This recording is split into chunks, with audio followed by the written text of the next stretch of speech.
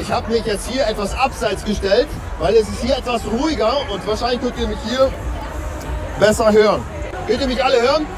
Hebt mal alle die Hand, die schon mal die Bibel gelesen haben. Einfach mal so die Hand heben, alle, die schon mal in der Bibel reingeschaut haben. Gibt es da irgendjemand? Ah, sehr gut, sehr gut. Noch jemand? Ihr da hinten? Hört ihr mich? Habt ihr schon mal die Bibel gelesen?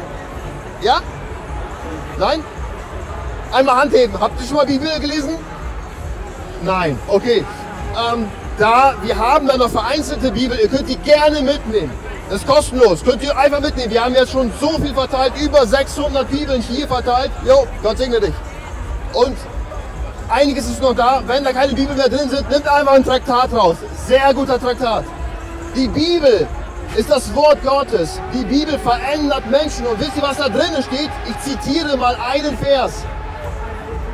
Das Wort vom Kreuz ist eine Torheit denen, die verloren gehen. Uns aber, die, die gerettet werden, ist es eine Gotteskraft.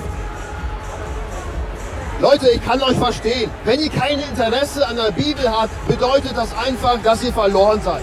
Dass ihr nicht gerettet seid. Und das ist echt schade. Ich lebte auch mal in so einem Zustand, dass ich nicht wusste. Ich wusste nicht, bin ich gerettet oder doch. Ich wusste nicht. Aber irgendwann mal wurde es klar, wenn ich jetzt sterbe, dann komme ich in die Hölle. Ich gehe verloren. Ich bin ein verlorener Sünder, durch und durch. Ich bin ein gottloses Wesen, einfach ein gottloses Mensch und hat mit Gott nichts zu tun. Leute, und das zerstört unser Menschen. Wie viele leben in Depressionen und sind unzufrieden über ihr eigenes Leben und kommen mit ihr eigenes Leben gar nicht mehr klar. Wisst ihr warum? Weil der Sinn des Lebens fehlt. Es fehlt der Schöpfer. Die Schöpfung hat den Schöpfer verloren. Sie hat sich von dem Schöpfer abgewandt, abgetreten. Ja. Und ganz ehrlich, Gott schaut auf uns Menschen und ist so traurig darüber. Er ist so traurig darüber. Er möchte mit seiner Schöpfung leben. Er möchte uns zeigen, was der Sinn des Lebens ist. Und dann möchte er uns, dass wir die Ewigkeit im Himmel verbringen werden. Gott liebt dich und Jesus ist der Weg. Jesus ist die Wahrheit und Jesus ist das Leben. Und nur durch Jesus Christus kommen wir zum Vater. Nur durch Jesus Christus kommen wir in den Himmel. Gott hat uns so sehr lieb, dass er seinen Sohn Jesus Christus hier auf dieser Welt vor circa 2000 Jahren sandte, um für uns zu sterben und zu auferstehen. Er hat somit den Tod besiegt. Leute, hört mal ganz kurz her. Durch Adam kam die Sünde auf uns allen Menschen. Durch Adam kam der Tod. Durch einen Menschen kam das Verderben auf dieser Welt. Aber durch einen Menschen kommt die Errettung.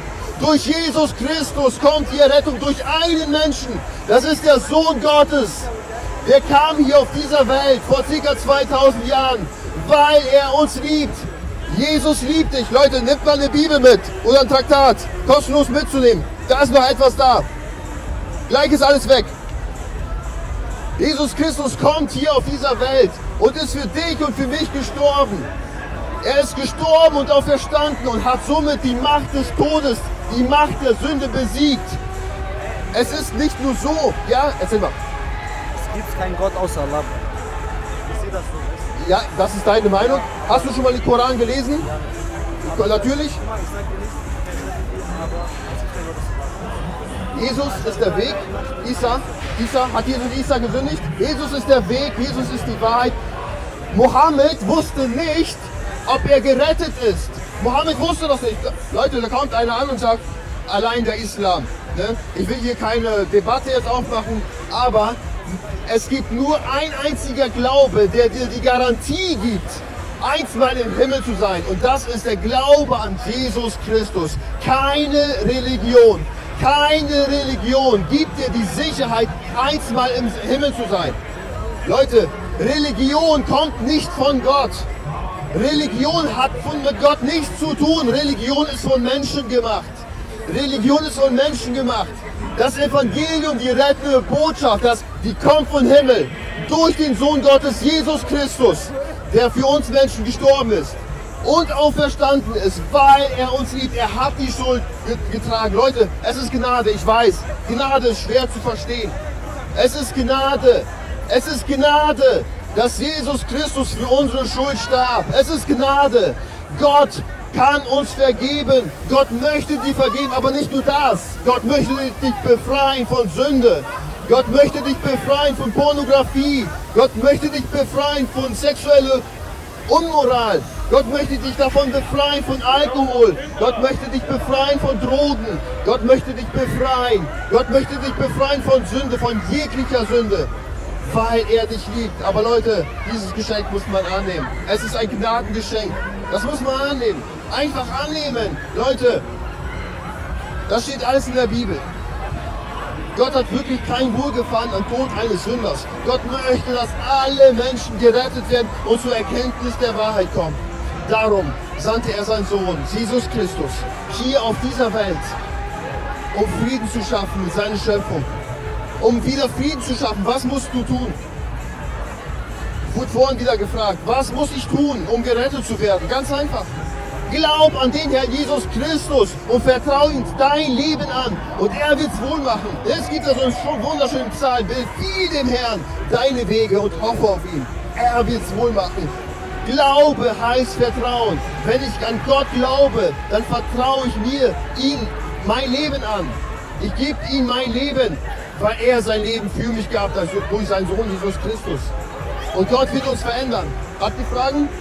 Könnt ihr gerne machen. Jesus liebt euch. Jesus ist der Weg. Nur Jesus allein ist der Weg. Ja? Noch was? Jesus liebt dich und er möchte nicht, dass du verloren gehst, sondern das ewige Leben dort im Himmel sein wirst, aber nur durch Jesus Christus, durch Buße und Umkehr von unserem gottlosen Leben. Leute, ich wünsche euch allen wirklich von ganzem Herzen Gottes reichen Segen. Weißt du, ich stehe hier jetzt Vielleicht denken einige, das ist so nicht der richtige Ort dafür. Doch, das ist genau der richtige Ort. Denn jetzt sind wir hier und wir haben Zeit und es geht uns gut. Es kommen Momente, da wird es uns nicht gut gehen. Es kommen Momente. Vor zwei Tagen war hier eine Bombendrohung, wurde evakuiert. Da haben Leute Panik gehabt, Angst gehabt. Leute, so weit muss es doch nicht kommen, oder? Solange es noch gut geht, lass uns doch den Herrn suchen. Lass uns doch den Herrn suchen und er lässt sich finden und wir werden Veränderungen in unser Leben bekommen durch Jesus Christus. Ich wünsche euch wirklich für allen ganzen Herzen Gottes reichen Segen. Ich wünsche euch allen wirklich, wirklich, dass ihr umkehrt und den Retter findet, den Retter dieser Welt, der euch liebt, der euch so sehr liebt. Ich wünsche euch Gottes Segen.